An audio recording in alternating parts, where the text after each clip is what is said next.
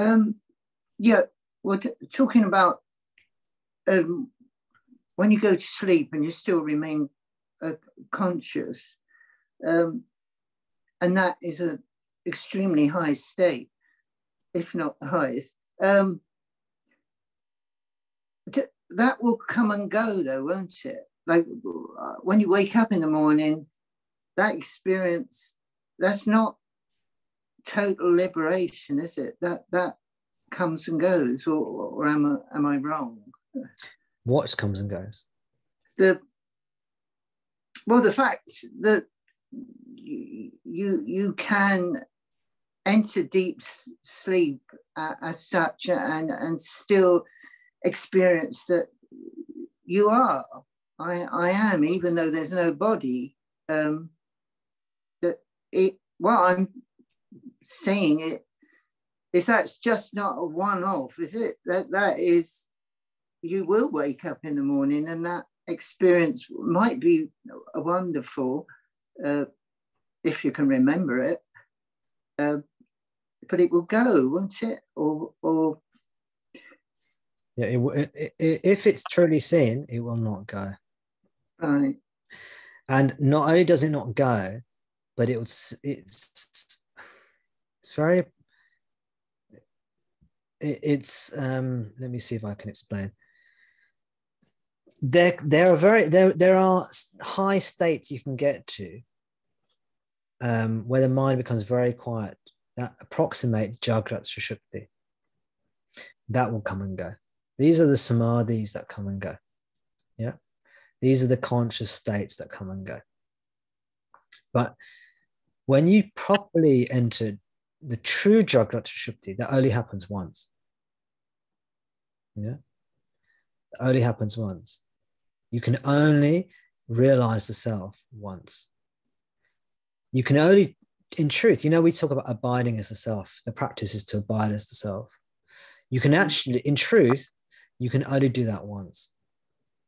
The other times you're doing it, you're not truly doing it. It's still sadhana.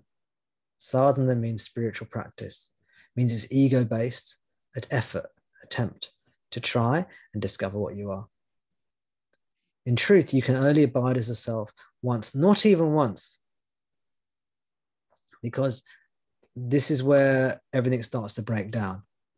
It's like where the laws of physics come to an end, you know, the black hole or, you know, the Big Bang or something. This is this this bit um, when you we but we can put it like this. It does when you when when when you go into that state, you realize there's only been that state. And when I say you realize again, there's no you left. There's no other, there's no you. There's just that which you are, which you truly are. When I say there's no you, I mean there's no body mind. There's just that which you are. And there's a realization, in quotes, that there's never been anything else. Maya has never even come onto the scene. Doesn't come and go. That's liberation. Liberation doesn't come and go. It doesn't come and it doesn't go. It's Turiya. And that is what has to be realized. Mm-hmm. You know? Remember, there's that there's that Upanishad which talks about Turiya. There are, there are many Upanishads that talk about Turiya.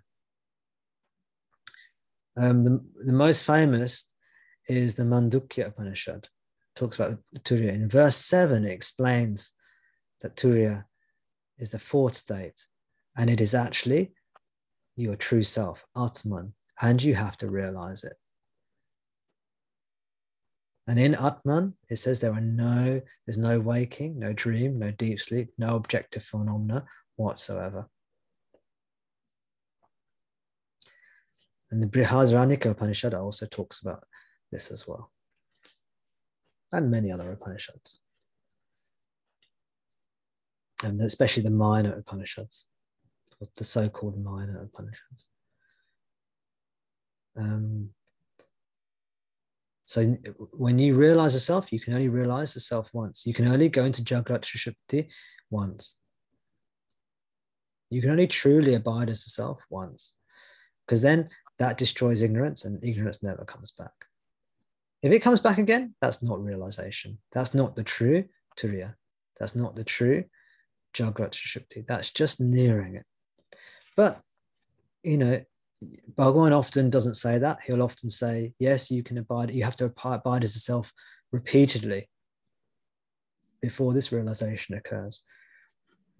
Why does he say that? It's because usually you have to attempt repeatedly before you actually truly attain self knowledge because of the vasanas, because of the habitual tendencies of the mind to conjure up a body and a world. Does that make sense, right? Yes, yes. Thank you. You're welcome.